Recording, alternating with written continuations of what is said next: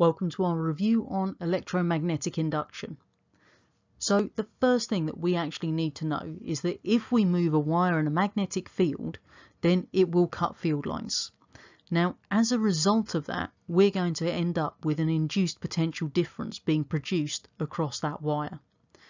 Now, another way that we can actually achieve that is by making the magnetic field change around the conductor. So we've got to have some way of having the field lines cut, whether it be moving the wire or moving the magnet in some way. If we don't have our wire cutting field lines, then we won't induce a potential difference in the wire itself. So we've got three ways that we can actually increase the induced potential difference we're producing. The first is we can make the wire move faster. The faster the wire moves, then the more field lines will be cut in the same time. We can use a stronger magnetic field because as we established earlier on in this topic, stronger magnetic fields have a greater number of field lines and therefore the wire would cut a greater number of them by moving in the same amount. Or we could use more wire or more coils of wire. And again, that would have the effect of cutting more of those field lines in the same time frame.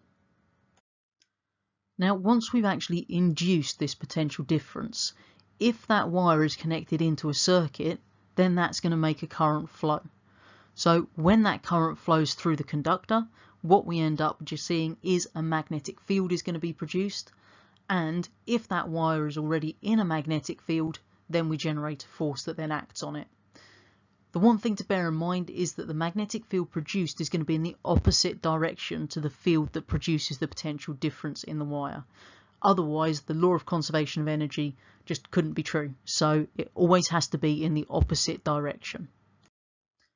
So one fun little experiment that you can play around with at home quite easily is if you've got something like a copper or an aluminium pipe and a strong magnet, then when you drop the magnet through that pipe, it won't fall at the speed you're expecting it to.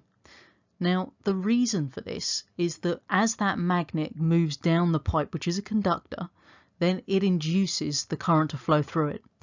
Because the current produces a magnetic field, and we're producing a magnetic field within an existing one, then what we see is we get a force.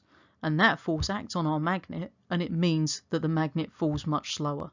So it's a good fun thing to show people, and if you really wanted to, you could even turn into a little bit of a cheater at fairground games. I told my kids that if you have the old hit the rat thing in the old fairground and you put a magnet in it and drop it through an actual aluminium or copper tube, it's never going to fall at the rate people expect and you can make yourself some easy quick cash by doing things like that.